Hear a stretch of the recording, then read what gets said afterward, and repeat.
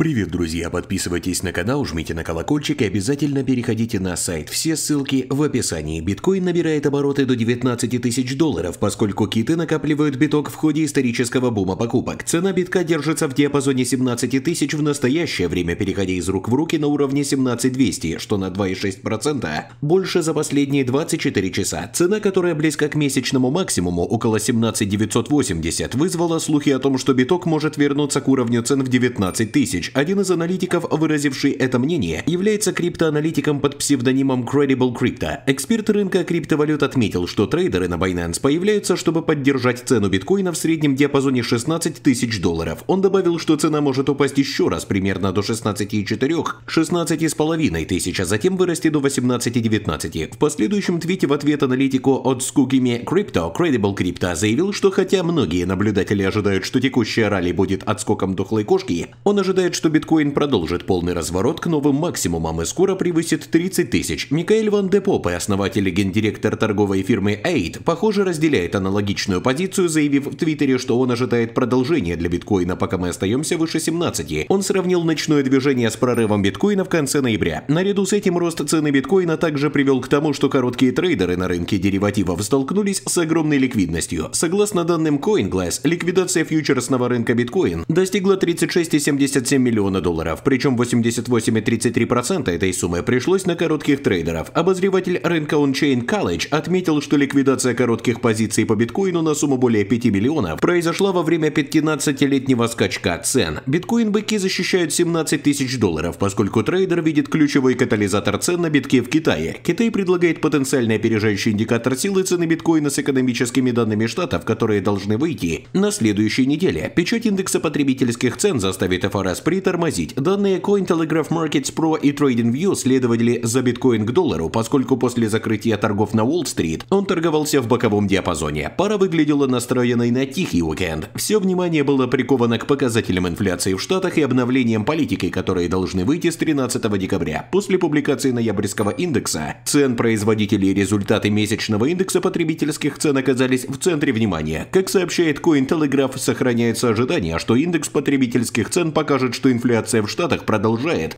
снижаться, что приведет к возобновлению роста рисковых активов, включая крипту. Мои личные ожидания состоят в том, что мы увидим индекс потребительских цен на уровне 7,7,2 базовых процента, индекса потребительских цен на уровне 5,9,6,1% и что мы снова окажем большое влияние на рынки. Микаэль Ван де Попе, основатель и гендиректор торговой фирмы Aid, написал в Твиттер на эту тему. Ван де Попе добавил, что заседание ФРС 15 декабря должно ответить тем же, если это приведет к такому результату. FOMC сделает паузу и замедлится после этого события, предсказал он. Тем временем макроэкономист и фондовый аналитик Чой подготовил список катализаторов фондового рынка к концу недели, включая развивающиеся рынки и бесконечное подавление в индексе волатильности WIX. Пик инфляции в Штатах, ослабление доллара, открытие Китая открывают отличные возможности для инвестиций. Китайский ETF недвижимости CHIR вырос на 80% с ноября. Невероятно, добавил он. Китай взволновал биткоин-быков. Продолжая тему Китая, криптоаналитик и трейдер TechView обозначил